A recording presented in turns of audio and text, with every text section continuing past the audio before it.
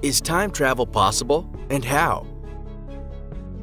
How would you feel if you found out that there is a slightly possible chance for you to go back in time to your high school days with your current physical stature?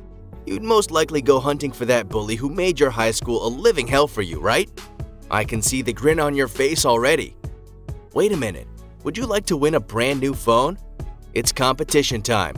Grab a chance at winning a new phone from Information Forge. Subscribe to this YouTube channel hit the notification bell, like our videos, comment on our videos, and share our videos on Facebook, Instagram, Twitter, Tumblr, or other social media platforms. Increase your chances of winning by watching as many videos on our channel as you can. Winners will be announced at the end of the month. Good luck and enjoy watching the videos! Hey guys, welcome to Information Forge, where we bring you the juiciest content. The concept of time travel is one of the most controversial subjects in science and physics. Although great minds like Albert Einstein and Isaac Newton have made certain findings that should make this process simple, we are still waiting for a breakthrough.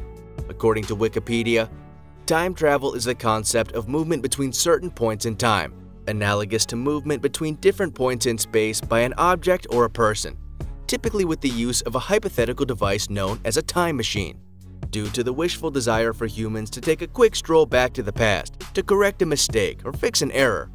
Many have taken time travel as a philosophical and fictional subject.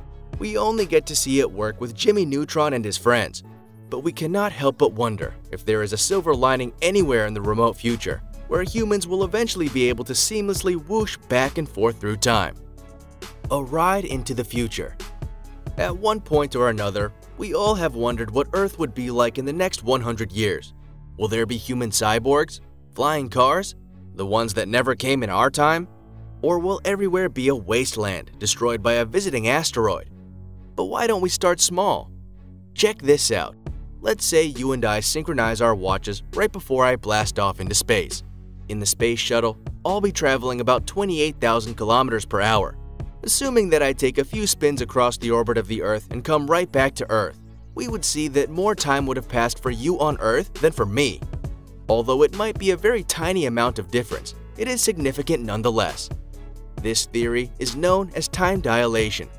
According to Einstein's theory of relativity, time measured along different trajectories is affected by differences in either gravity or velocity, each of which affects time in different ways. Another good example of time dilation is when we compare the time on satellites to Earth. Take the International Space Station for instance.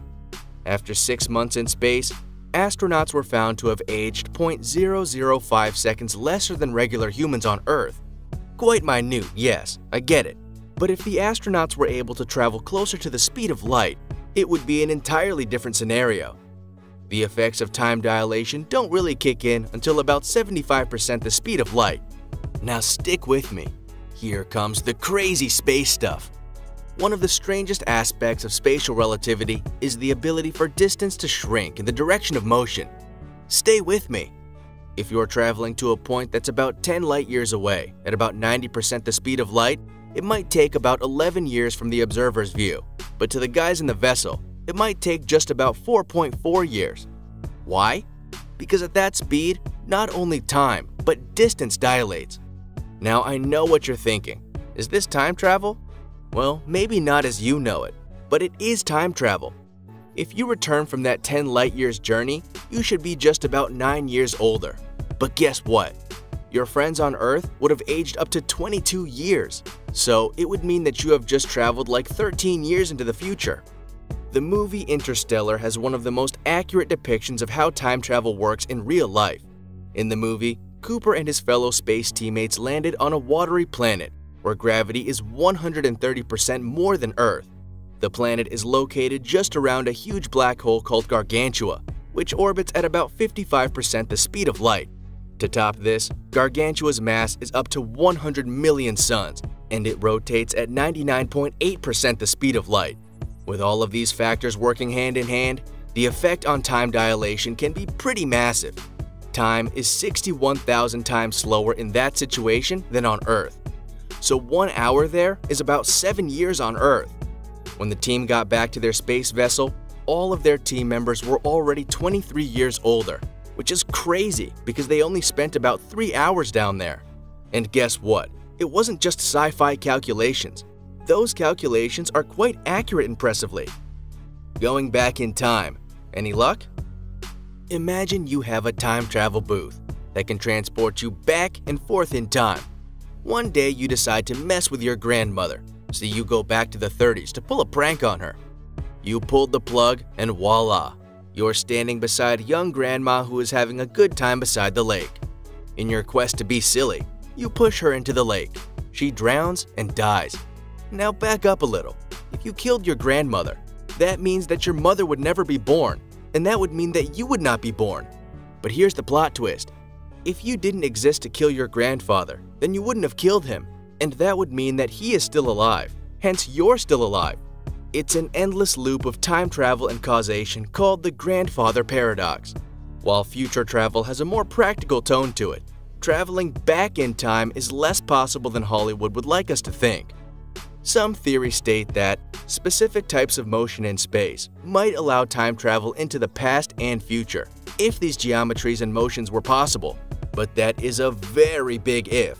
And this would require something called a closed timelike curve, or CTC for short, a loop in space that can theoretically allow an object to return to its own past.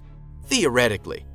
Many scientists believe that this possibility of traveling to the past is down to zero, for many reasons, one of which is the issue of causality, as seen in the grandfather paradox. If changing the past can disrupt the future, which is now the present, then it's a no-brainer.